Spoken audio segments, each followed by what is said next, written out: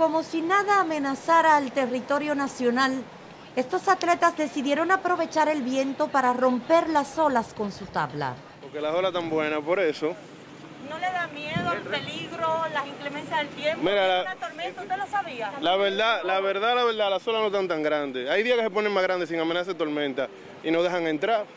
Hoy es un día normal como cualquier otro. Luego de que Noticias SIN alertara a las autoridades de esta situación, a la playa Guibia llegó una lancha de la Armada que obligó a los surfistas a salir del agua.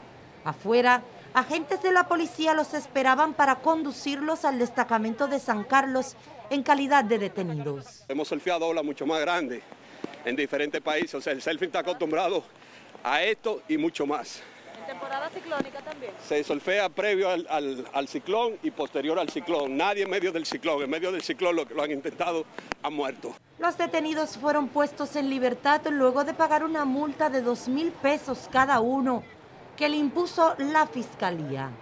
La alcaldesa del Distrito Nacional llamó a los capitaleños a la prudencia.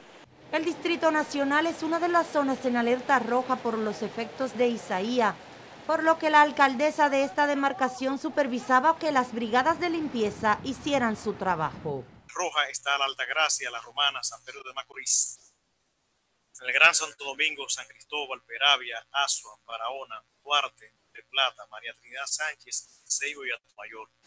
En amarilla continúa Espaillat, de Cristi, Puerto Plata, San José de Ocoa, La Vega, Sánchez y Samírez, Samaná, Bauru, Pedernales, San Juan, Señor Noel y Santiago.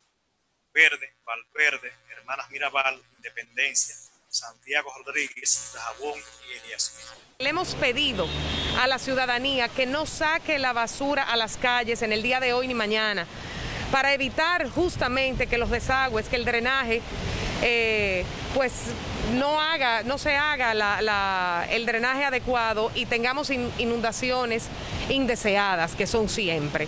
Los organismos de socorro han llamado a que se mantengan en puerto las pequeñas embarcaciones debido al fuerte oleaje. Catherine Díaz, Noticias SN.